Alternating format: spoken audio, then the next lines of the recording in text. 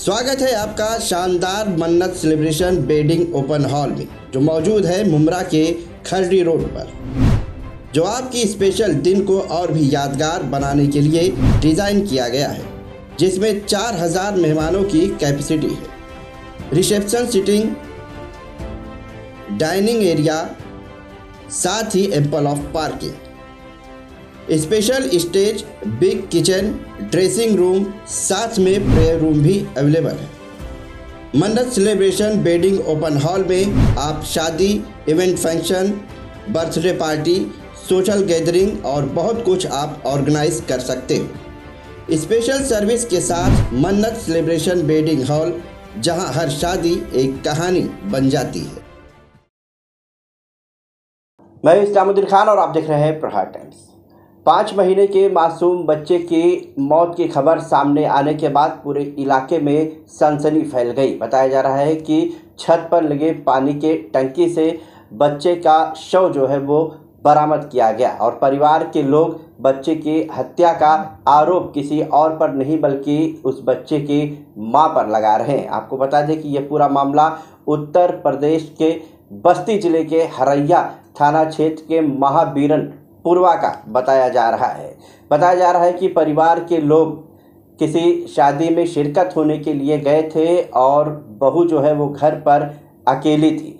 इसी दौरान जब वापस लौटे परिवार के लोग तो पता चला कि बच्चे की मौत हो गई है। बच्चे की मौत की खबर सुनते ही हर कोई सहम गया। लेकिन सवाल उठ रहा था कि आखिर बच्चा जो है वो पानी के टंकी में गिरा कैसे? मौके पर पुलिस को भी बुलाया गया और परिवार के जो लोग हैं, वो अपनी बहू यानी कि बच्चे के माँ पर आरोप लगा रहे हैं कि बच्चे के माँ ने इस घटना को खुद अंजाम दिया होगा। हालाँकि पुलिस ने इस पूरे मामले में अज्ञात के खिलाफ एफआईआर दर्ज कर और मामले की तहकीकात भी शुरू कर दी है। लेकिन पाँच महीने के मासूम बच्चे के मौत से पूरा परिवार सदमे में है। नाम है आपका? क्या आज घटना हुई है? हमारे सामने तो यही हुआ है। हम जब आए मतलब हम बारात देखने गए थे तो वहाँ पे हमको पता चला कि कुछ हो गया है। जब डीजे बंद करवाए सब लोग कि डीजे बंद कर तो कुछ हो हो गया है। तो हम सोचने लगे क्या हो गया? हम सोचे किसी का एक्सीडेंट हो गया? सड़क है। तब फिर बाद में हमसे सब लोग पूछने लगे। मतलब सब लोग थी साथ में हमारे फ्रेंड लोग। बोले क्या हुआ सुषमा? हम बोले कि जहाँ आप हो वहीं हम भी हैं। हमको क्या पता? हम भी बाराती देख रहे हैं। तो वो बोली कि तुम्हारे ही घर कोई और बोला कि तुम्हारे ही घर पे कुछ हुआ है। तब हम वहाँ से मतलब अपने घर पे पहुँचने वाले थे। तो हम पीछे थे। तो बोली, तुम्हारे ही घर पे कुछ हुआ है? तुरंत हम भगे, हम कहे, क्या हो गया? तब देखे हमारे घर पे भीड़ लगा था। सब लोग रो रहे थे, भैया, हमारे बैठ के रो रहे थे। हम बोले, क्या हुआ? तो हमारी एक पड़ोसन बुआ है बोली कि, तुम्हारा बाबू टंकी में था और रवि गया लेके आया है। तुम लोग कहाँ थे? भैया जा रहे थे बाराती। जब सोचे ही बाराती तो वो कहे कि जाओ भैया के खिला ले, जब एक बार खिला ले, तब उसके बाद बराती जाए।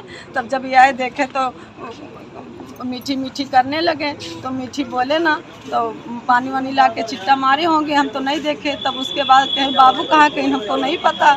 तो कहीं मम्मी गिमटी पढ़ते यहाँ आओ हम आए तो हम देखे बाबू नहीं था हम सब तंग जब छत पे गए हेरने लगे मतलब बक्सा खोल के वॉशिंग मशीन वशीन कहीं नहीं था। तो जब ऊपर गए छत पे टंकी में था। बाबू तो मर गए। हम जा रहे थे सुबह कढ़ाई चढ़ाने के सारा सामान जुआए टाटा टाटा पिसा के हम तब से मानता ही माने के के तिवारी यहाँ भर्ती था आईसीयू में बीमार था बच्चा हमारा। तब से हम दवाई करा रहे लखनऊ दवाई करा रहे। तक लखनऊ लेके जाना था दिखाने के लिए दो लाख तीन लाख रुपए उधार हो गए दवाई में। कर्जा काट काट के करा रहे। तो क्या आपको लगता है कि क्या लगता है? आप लगता है इन्हीं का काम है। किसका काम है? इन्हीं बहू का। अच्छा। हाँ। कुछ भूत प्रेत का साया भी बता रही हैं वो। कुछ भी नहीं है। वो उनके माता जी आ रही थी तो कह रही थी कि जो है घर में भूत है हम नहीं जाएँगे ससुराल। तुम्हारे घर में तो हम पूजा वूजा भी कराने जा रहे थे कि चलो ठीक है आ जाओ हम चलो पूजवा भी करा देंगे। पंडित से कह रहे थे पूजा कराने के लिए। क्या कैसे हादसा हुआ हम देखे नहीं है। लेकिन हंड्रेड परसेंट हादसा इसी का हाथ है सर। किसका? हमारी बहू का। क्योंकि हमारे घर में कोई जा ही नहीं सकता। जब पीछे ताला लगा है ऊपर से ताला लगा है तो ताला अंदर से कौन खोला? और ये बार बार धमकी भी देती है लेकिन हम सोचते हैं थे कि भी बच्ची है नादान है तो भी इसका दिमाग जो है बच्चा हो जाएगा बच्चा सही हो, हो जाएगा। इसका दिमाग बच्चे में जब रहेगा तो इसका भी दिल बहला करेगा समझाते थे। प्रकरण है ये गाँव का नाम है महावीरनपुरवा वहाँ पर एक पाँच माह का बच्चा था जो छत पर अपने ही छत पर पानी के टंकी में मृत पाया गया उस पर तहरीर प्राप्त हो गई है और अभियोग पंजीकृत कर लिया गया है। क्योंकि वो नॉमिनेटेड नहीं है इसलिए साक्ष संकलन की कार्रवाई की जा रही है।